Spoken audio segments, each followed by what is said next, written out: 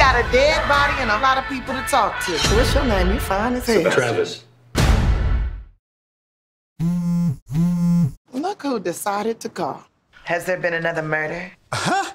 Uh, actually,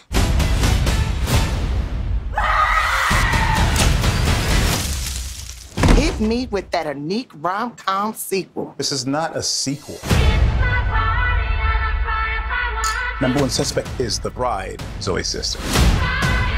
Grace didn't do it. We got a dead body and a whole lot of people to talk to. What's your name? You fine as hell. Sebastian. Travis. We'd like to hear your accounts of what happened. I like to call them your mind movies. She was all trouble. And for the record, the case wasn't the only thing that was hard. Oh, God. Everyone here had a motive.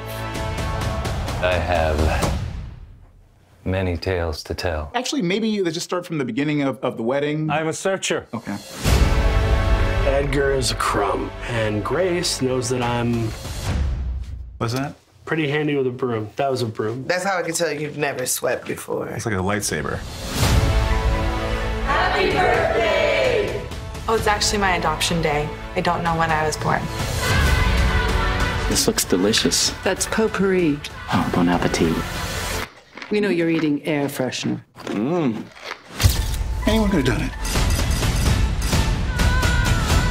Uh, my mother says hello. She wanted to be here, but she was busy with silence and alcohol. Let us raise a toast to the happy couple. This whole thing is so much more complex than you guys realize. We all have our secrets.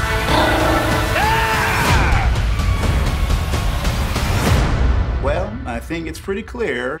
That's We've got not our our guy. guy. What did you say, got or not? Not. What? Well, I know who killed Edgar. Shafted to the tune. You know, rich white people whisper is never a good thing.